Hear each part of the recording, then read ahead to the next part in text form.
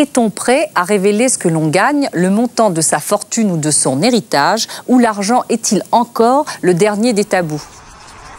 J'ai du mal à vous présenter parce qu'il y a tellement, tellement de, métiers que vous exercez, donc euh, comédien, producteur, réalisateur, maintenant euh, plutôt écrivain. C'est ça? C'est plutôt ce qui vous fait vivre bah, maintenant? Si avec l'âge, on est obligé d'arrêter de faire. Euh, je peux plus bouger beaucoup. Arrêtez, on va avoir pitié. Non, non, mais parce que c'est vrai que quand on est acteur, on fait dans, la, dans le, le, monde actuel du, de la télévision ou du cinéma, on fait toujours des jeunes flics qui courent. Et à partir du moment où on a un certain âge, on fait le vieux flic qui court plus.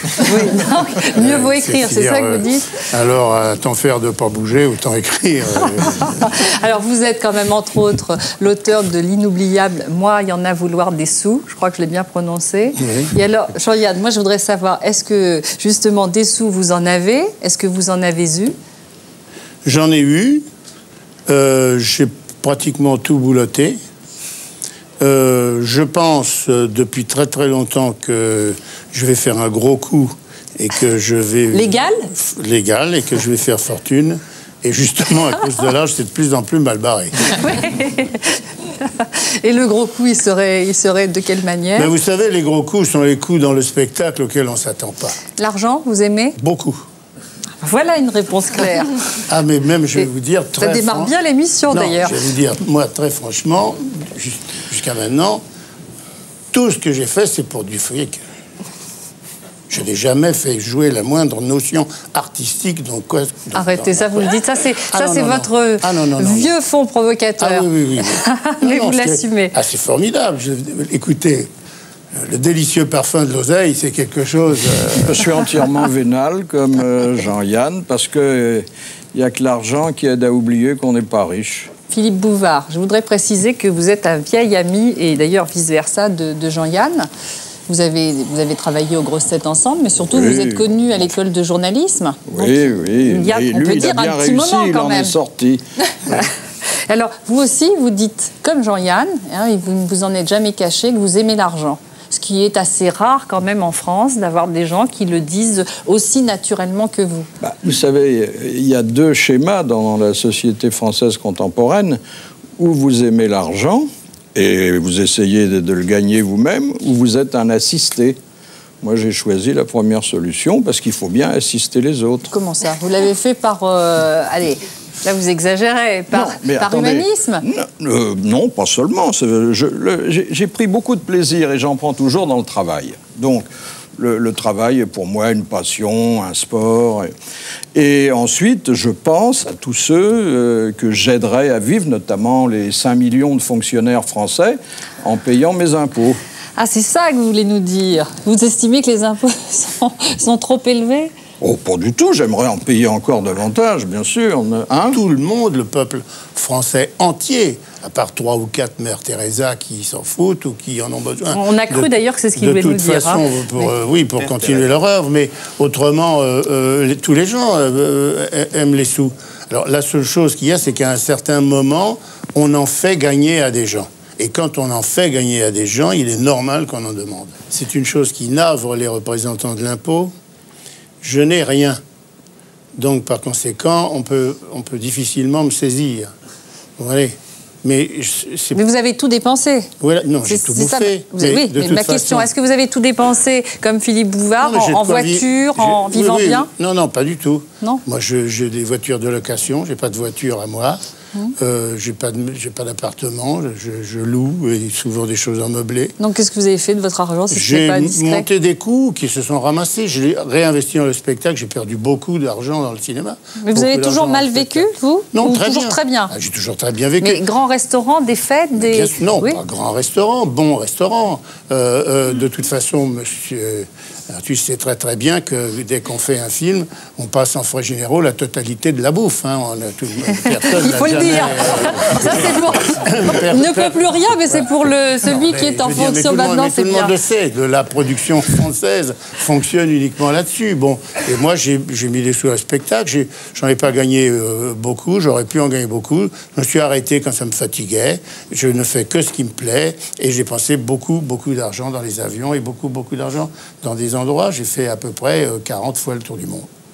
Donc euh, vous êtes un homme heureux. Je fais le tour du monde des palaces. Je trouve que c'est plus agréable que d'avoir des maisons et machin. Et on peut pas saisir, les impôts ne peuvent pas saisir les souvenirs. Je crois que vous avez eu, vous, un problème avec le fisc. Non, on a beaucoup raconté ça. Mais à la suite d'une photo. Oui, à la suite d'une photo. Parce, que je suis parti euh, aux États-Unis et que je suis parti en, en 79 donc les gens ont confondu 119, 80, 81. On a pensé que j'étais parti en 81 parce que les socialistes prenaient le pouvoir et que je me tirais pour cacher les sous. Non, c'est pas vrai. J'ai eu un contrôle, c'est vrai. J'en ai un autre en ce moment d'ailleurs. Alors le monsieur qui m'a fait venir avait match sur sa table. Enfin, il n'avait pas que match, il avait un gros dossier avec des photos, des tas de choses. Évidemment, match. Il y avait un, un photographe était venu à Los Angeles on m'avait photographié au bord d'une piscine avec un très gros cigare. Alors il m'a dit, écoutez, voilà, je voudrais des précisions sur cette euh, maison avec piscine. Alors je dis, bah, cette maison... Et surtout le cigare. Voilà, cette maison avec piscine est la maison d'un ami. Le type est venu pour faire des photos. J'ai pas de maison et j'ai pas de piscine. Donc on a cherché une maison de milliardaire avec une piscine de milliardaire pour faire la photo. Et comme on voulait le cigare, on a pris ce cigare. Et il m'a dit, mais vous avez quand même les moyens de fumer des cigares comme ça. Et je dis, monsieur, vous n'avez aucun goût. C'est un cigare à chier qui coûte 2 dollars. Et si vous vous y connaissiez en cigare, vous sauriez, à la vue de ce cigare, que c'est les cigares blancs qu'on distribue à l'armée. Seulement, on a mis ces cigares-là parce que c'est plus gros, alors ça fait plus chic. Bon, tout de suite après, il m'a d'ailleurs dit un truc qui m'a un peu déplu. Il m'a dit, mais vous vivez bien, regardez, moi j'ai une chemise. Non, c'est-à-dire qu'il m'a dit, vous vous achetez des jolies choses. J'ai dit, oui, ça m'évite d'avoir une chemise reprisée comme la vôtre. Et alors, bon, on est parti euh, dans un domaine qui était un domaine euh, qui devenait ennuyeux pour tout le monde et gênant.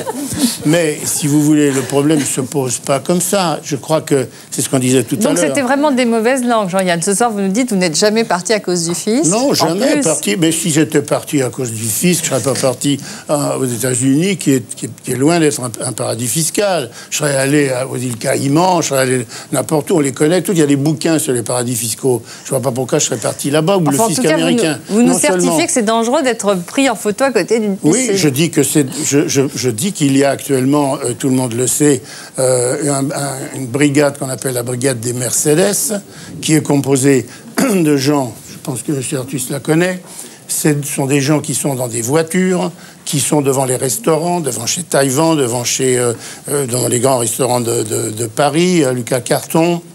chez Lucas, et qui attendent de, voir sortir vers 10h, 11h du soir un monsieur avec une jolie dame.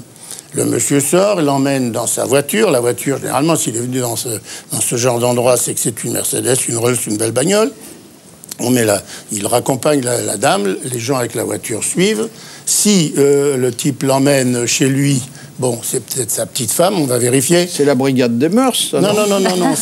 Vous croyez qu'il confond, Si on l'emmène ailleurs, euh, euh, qu'est-ce qui va se passer? Il va se passer que le lendemain, ou deux jours plus tard, ou après quelques jours, l'administration des finances va vérifier l'addition et va vérifier si l'addition a été passée dans la société ou pas dans la société. Je vous, je vous arrête parce que je vois Jean Arthus dire non, non, non. Ah, mais vous n'êtes pas d'accord Il peut y avoir des, vérificateurs qui ont des moyens très personnels euh, de, de, flicage en quelque sorte. Enfin, euh, n'allons pas considérer que c'est là une, méthode de l'administration. Euh, si vous avez des cas précis, je suis prêt à à voir ce qui a pu se passer, mais vraiment, c'est pas. Moi, je n'en ai pas, c'est Philippe Bouvard. L'administration fait bien son boulot, mais moi, je critique pas ni les impôts ni l'administration. Je dis simplement, nous sommes dans une situation qui est une situation où quelqu'un a parfaitement tous les droits de savoir ce que vous avez fait. Donc, par conséquent, qu'est-ce que ça vous oblige à faire? Ça vous oblige à prendre des précautions pour pas être pris alors vous allez inventer des tas de choses. Et la chose la plus importante et la plus intéressante est d'aller trouver un ancien inspecteur des finances qui est devenu comptable et qui, pour de l'argent, va vous donner toutes les combines qu'on doit faire pour ne pas payer l'impôt. Et vous le savez très bien il, est, il, est, ancien expert comptable, vous le savez. Moi, je, Vous êtes sénateur, vous avez choisi autre chose. attendez, attendez. C'est votre premier, votre premier métier, Jean Ce, ce, que je, ce, ce n'est pas lui hein, dont vous parliez. Non, mais pas du tout. Non, on, a tous ça, on a tous des gens qu'on a rencontrés. Nous, vivons dans un pays euh, qui pratique un niveau de dépenses publiques très élevé et donc un niveau d'impôt très élevé.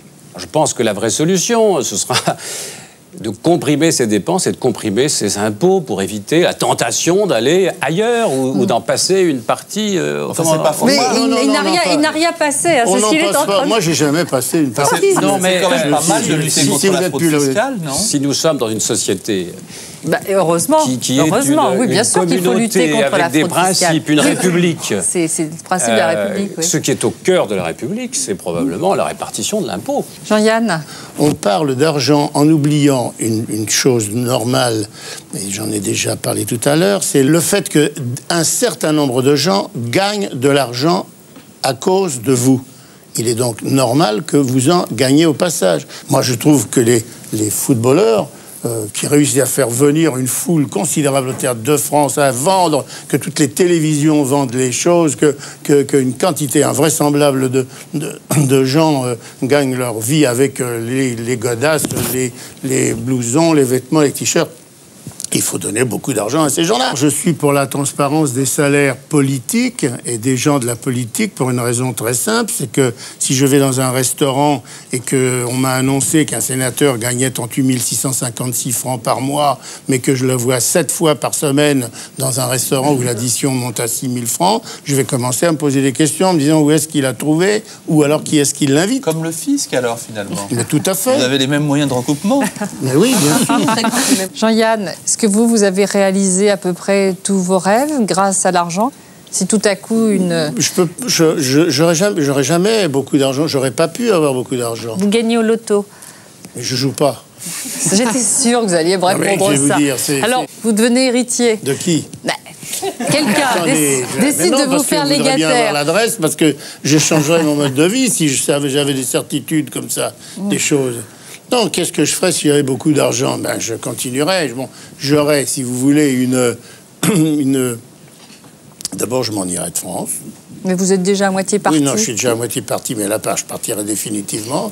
Et j'irai vivre euh, très probablement à Bali ou dans un endroit comme ça où je serai au bord de la plage avec euh, la main dans un paquet de locum et l'autre main sur, euh, sur une paire de seins.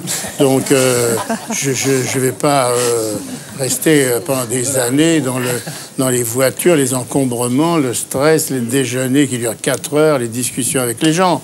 Donc là, je suis obligé, évidemment, de rester un petit peu euh, dans tous les pays en euh, continuant une activité, mais vraiment, euh, tous les matins, quand je me, quand je me lève, j'entends la voix de la retraite qui crie « Jeannot !» Et je me dis, il va bien falloir que j'y réponde un jour. Alors maintenant, pour continuer l'émission, Jean-Yann, si vous le voulez bien, je vais vous demander de venir vous asseoir à côté de votre euh, ami de plus de 50 ans, Philippe Bouvard, afin que je vous pose des questions, d'ailleurs à l'un et à l'autre, des questions un tout petit peu plus personnelles. Alors, Jean-Yann, Oui. euh, vous, disiez, euh, vous disiez précédemment, maintenant vous êtes devenu écrivain. C'est plus C'est facile. vite fait, c'est vite dit. Mmh, Vous venez d'ailleurs de, de publier un livre. hein. Alors, le dictionnaire des mots, il n'y a que moi qui les connais. Alors, comment- Dictionnaire des mots, qui y a que moi qui les Ah connais oui, bah voilà, j'étais sûre que j'allais me tromper et qu'il n'y avait que vous pour le dire. Oui, c'est parce que j'aime bien les titres, j'aime bien jouer avec euh, les mots comme ça, et en plus j'aime bien faire des fautes euh, volontaires euh, de français. Tout le monde dit il est beau, tout le monde dit il est gentil, ou là, le dictionnaire des mots, qui y a que moi qui les connais, puisqu'il y a que moi qui les connais. Si vous le dites. Alors, moi j'ai repris quand même quelques phrases tout au long de, de ces quelques années Mm. de votre petite carrière. Non, sérieusement, ça fait combien d'années, euh, Jean-Yann Ben, j'ai fait mon premier spectacle à 18 ans, et j'en ai 68, ça fait donc euh, 50 ans. Voilà, deux enfants.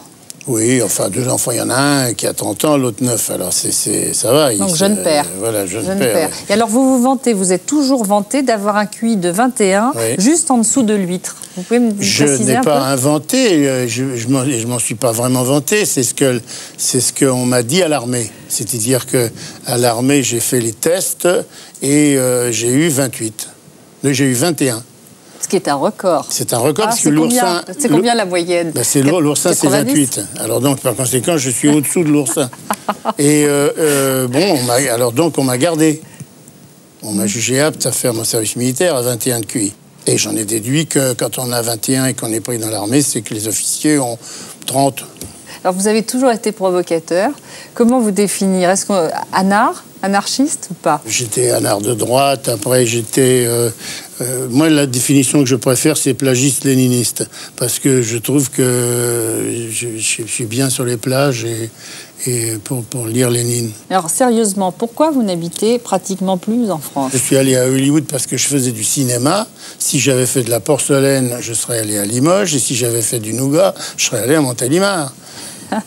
C'est type vrai, j'ai veut envie de vous dire le type- logique. le type qui veut Mais- faire du, du nougat à Limoges, il est mal parti. Le type qui veut faire euh, de la porcelaine à Montélimar ou à ou je sais pas quoi. euh, Alors, ce que vous disiez tout à l'heure, pas d'attache, hein, pas de voiture, pas de maison. Justement, c'est le contraire finalement Ouais. de vous. Je le connais depuis, depuis 50 ans. Et je dois dire que je l'ai toujours euh, perçu comme euh, un, marginal, au meilleur sens du mot, comme quelqu'un qui était à part, qui avait d'ailleurs euh, sa morale, sa façon de vivre. C'est un extraterrestre pour moi, mais, mais un extraterrestre euh, surdoué. Est-ce que réellement vous vous fichez de tout, comme vous l'avez euh, souvent dit? Il y a des choses qui sont importantes à vos yeux. Mais je me fiche pas de tout. Je, je dis, je n'accorde pas une importance excessive parce que je suis à peu près, euh, je suis tout le temps persuadé, c'est peut-être un défaut, j'en sais rien, que ce que je fais est périssable. Donc, si vous voulez, c'est pas se foutre de tout, c'est n'accorder aux choses que, la- que ce qu'on doit leur accorder parce que ça n'est pas très important. Alors, vous avez toujours déclaré aussi que vous vous suffisiez à vous-même. Alors, est-ce que pas tout à fait dit ça. J'ai dit, je Ah. suis, je suis avec les gens, je suis presque aussi bien que quand je suis seul. C'est pas tout à fait pareil. Pardon. C'est-à-dire, mais oui, bien C'est sûr. pire, c'est pire. Alors, qu'est-ce que ça, qu'est-ce que ça veut dire Que vous Eh êtes bien, misanthrope écoutez, je, mais pas du tout. Je pense que sur une année et sur l'ensemble, sur 365 jours, je préfère avoir une majorité de jours où je suis seul qu'une majorité de jours où je suis avec du monde. Mais ça ne veut pas dire que je suis un sauvage. Je me régale d'arriver à la. J'arrive à l'aéroport, j'ai mon, mon sac, je file mes bagages, je monte dans l'avion, je suis peinard. Si jamais il y a un mec qui vient, si je suis tout seul, par exemple, s'il n'y a personne à côté de moi, alors petit garçon. ça c'est le plaisir, ça c'est le bonheur. mais, vous préférez voyager seul que de partager, par exemple. En général, le voyage, on aime le partager avec quelqu'un. Ben, avec quelqu'un que l'on Non, aime. parce que, parce que le- le- si vous voulez. Je, Là, il le- est surpris. Il part pas, il fuit. Ah, c'est ça votre interprétation, vous Oui, Il fuit quoi Bah, il fuit un monde qui l'intéresse plus, il fuit des je- contemporains qui lui posent toujours les mêmes questions. Et puis peut-être qu'il se fuit un peu lui-même aussi. hein. Mais non, mais je fuis pas, c'est tout, c'est- rigolo. C'est bon, par exemple, je, je vais vous dire, c'est- je vais fâcher des gens parce que c'est, mais c'est la vérité. Je n'aime pas la, la nourriture du Périgord. Dans le Périgord, on mange que les trucs qui ont été faits trois ans plus tôt. On mange jamais un machin frais. Alors les gens disent, on va te faire goûter un de ces foie gras. J'aime pas le foie gras. D'accord. On, mais va se faire, on va se taper un confit formidable. Alors, écoute, Vous bon, voulez très dire que vous êtes toujours, en fait, Un un, petit exemple Armagnac, vous je teste ça. toujours déçu ou c'est toujours à côté de ce que vous attendez? Oui, Est-ce que c'est vous ça. êtes- Est-ce que vous êtes quelqu'un de- d'heureux ou de malheureux, non, de tout à fait heureux. Sans parler de luxe, si vous voulez, qu'on a évoqué longuement euh, aujourd'hui, euh, je trouve que c'est plus agréable d'être assis dans une voiture confortable que dans un tape-cul. Je trouve que c'est mieux d'avoir des fauteuils confortables pour regarder une grande télévision que d'être sur un tabouret à regarder une télévision petite. Donc, par que c'est conséquent, mieux d'être seul aussi, quand même. c'est mieux d'être seul pour travailler, pour écrire, pour réfléchir, Mais pour pourquoi? Lire. Parce que les gens vous ennuient Vous les trouvez trop... Mais euh, parce que euh, si- c'est parce qu'il y en a plein des gens. Donc par conséquent, Non, mais ils vous quand on est la seul, plupart des gens vous ennuient. Ah oui, bien oui, sûr. c'est ça que je vous demande. Oui, bien Oui. sûr. Donc vous préférez être seul. Mais j'ai rien à leur dire. J'ai rarement quelque chose à leur dire. Je parle pas de ma famille. euh, je vais dîner avec euh, ma maman qui, Dieu merci, est toujours de ce monde. Par rapport, euh, pareil, à la solitude, est-ce que c'est vrai? Parce que maintenant, je me méfie non, quand même de ce qui est écrit. Vous avez dit, dormir avec quelqu'un, c'est l'enfer. Je sais pas si j'ai vraiment dit que c'était l'enfer, mais c'est vrai. De toute façon, que de- c'est pas. Peut-être trop chauffé dans Non, votre chambre à coucher. C'est pas, c'est pas l'enfer, si vous voulez. C'est, c'est très désagréable mais qu'est-ce qui est désagréable? Ben, de dormir avec les gens. C'est, c'est agréable de, de faire l'amour, mais après, il faut se tirer. Euh, je veux dire Oh, mais que- c'est que- une que, horreur. euh, Il, est pire que vous. Mais non, mais hein. je vais vous dire, vous- écoutez- mais vous êtes, alors, vous êtes misanthrope et en plus misogyne. mais pas du tout. C'est très désagréable d'être. en- C'est très désagréable d'être dans un lit. On ronfle, on, on- on a envie de se lever, on, on veut boire un coup. À Chaque fois qu'on on attrape la bouteille d'eau minérale, évidemment, on fait tomber la montre, la lampe, enfin. Donc- tout- donc tout- chacun chez soi. Mais bien sûr. Non, mais c'est vrai, vous rentrez chez vous, vous avez un confortable canapé, euh, bon, euh, des livres intéressants. euh, D'un seul coup, on ne saura jamais pourquoi, vous prend une, frénésie de d'un bouquin de, de peinture sur je sais pas quoi, les peintres dans la Renaissance. Vous, vous prenez ce truc-là et puis vous, vous le regardez, vous avez soit vous vous servez un verre, vous êtes content, vous avez une heure, deux heures, vous êtes avec quelqu'un, qu'est-ce que tu lis? Mais tu le lis jamais d'habitude, bah, c'est bien pour ça que je l'ai pris maintenant, puisque je le lisais pas les autres fois. Donc je suis en train de regarder ça. Mais alors la peinture de la Renaissance, ben mon vieux, dis donc, il faudrait me payer cher moi, pour que je dise une connerie pareille. On te demande pas ton avis, fous le camp. On, est Euh, déjà dans, on est déjà dans des dans un cas normal de. Oui, je vois les choses comme ça souvent. Et c'est et c'est aussi caricatural que ça, la vie, Non. dans le fond? c'est pas aussi caricatural que ça. Je crois, c'est vrai que la chose qui peut sauver non seulement les couples, mais euh, les amis ou les gens qui peuvent être ensemble, c'est effectivement le confort. Je parle pas de l'argent, là, on parle plus d'argent. Le confort. Famille d'ouvriers, Jean-Yann D'ouvrier, pas exactement. Mon père était ébéniste avec mon oncle. Donc, euh, c'est un métier euh, de création. J'ai failli être ébéniste, j'aurais bien été ébéniste. J'aimais beaucoup le, le bois, le travail du bois, des meubles et tout. Et vous le regrettez? Non, pas du tout, mais je dis toujours que de toute façon, je ne regrette rien du tout. Je n'ai jamais fait le moindre effort pour quoi que ce soit. C'est vrai ou c'est encore par provocation? Non, mais pas du tout. Je n'ai pas fait le moindre effort pour quoi que ce soit parce que j'ai eu l'occasion de faire des choses et j'aurais pas eu honte de ne pas les faire. Bon, je sais qu'il y a des choses que j'aurais pas faites. J'aurais pas voulu être dans l'enseignement, par exemple, parce que j'avais absolument aucun sens de la pédagogie. Bon, je serais pas ve- devenu euh, médecin. J'aurais pas aimé être dermatologue. Je voulais pas toucher de la viande avariée. Donc, si, si vous voulez le, Quelle le- horreur le- Je voudrais vous demander quand même comment vous faites hein, pour qu'on continue à vous aimer, à être aussi attachant et à être toujours aussi désagréable Je suis finalement. pas du tout désagréable. Non, Regardez, je suis d'une amabilité. Pas avec moi, pas avec moi. Formidable. Mais... je suis toujours comme ça. Je Vous dis pas aux gens. Quand je dis, par exemple, je suis. Je dis tout le temps que je dis aux, aux dames. euh, je, suis- je suis presque aussi bien avec toi que quand je suis tout seul. Je le dis pas en disant Eh, euh, eh, vieille, vieille, euh, salope, casse-toi avec la gueule que t'as, t'es pas tombant sur tes chaussures et ton vieux peignoir mal fermé, c'est pas la chose. En plus, il le cite Aznavour, Je dis, euh, je dis euh, gentiment, c'est formidable, je suis très heureux Mm. d'être avec toi. Je sais presque aussi bien que quand je suis seul. Ah oui, c'est très plutôt différent. gentil. Mais est-ce que c'est pour vous protéger? Est-ce que vous êtes d'une extrême sensibilité Non, ou vous êtes je vraiment dis comme la ça? Bon, vérité. D'accord. Alors, Philippe Bouvard, est-ce qu'il est d'après vous heureux ou malheureux?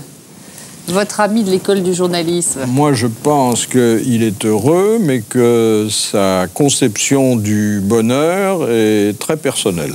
Bon, Oui, c'est ça, c'est tout à fait différent.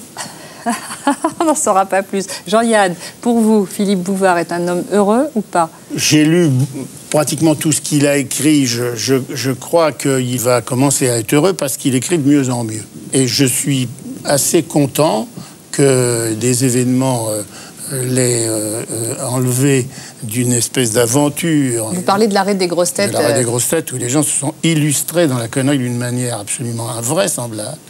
Et, euh, et, euh, Donc vous dites que maintenant, enfin, il peut être heureux. Ben, il ça. aura- ben, bien sûr, Je parce voudrais, que- je voudrais quand même lui demander, alors Philippe Bouvard, est-ce qu'il a raison Est-ce que vous êtes euh, maintenant plus heureux qu'avant? Non, je, bon, je, je, je crois pas au grand bonheur, je crois à la succession, à, l'addition des petits bonheurs euh, qui, qui aident à, mieux passer euh, sa vie. Je n'ai pas à me plaindre de, de mon existence.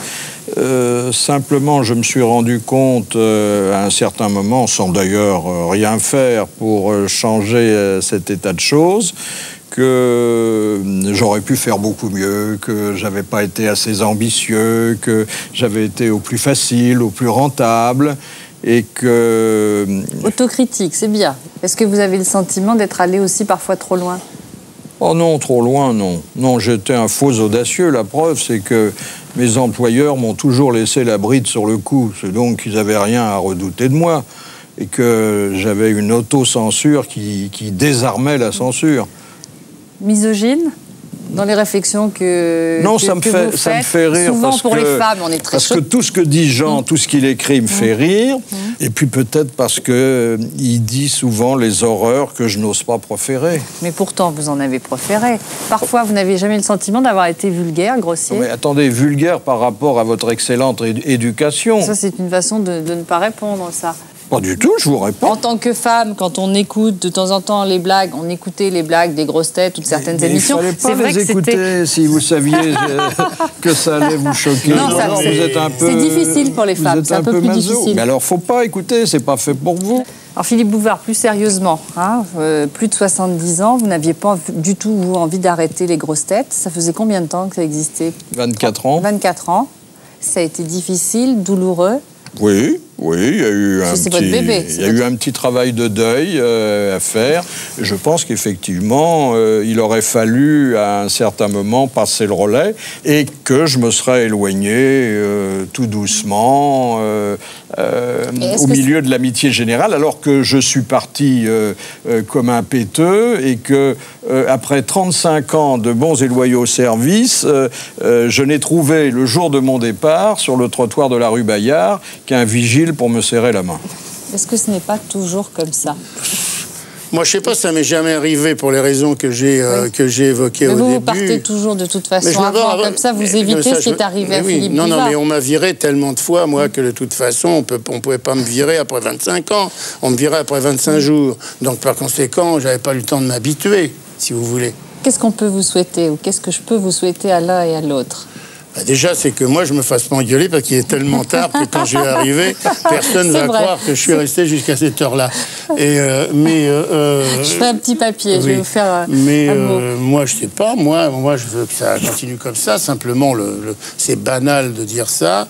Je, je pense que si tout va bien, mes 21 de QI vont rester euh, dans l'état où ils sont et je continuerai à avoir le, cerveau qui fonctionne.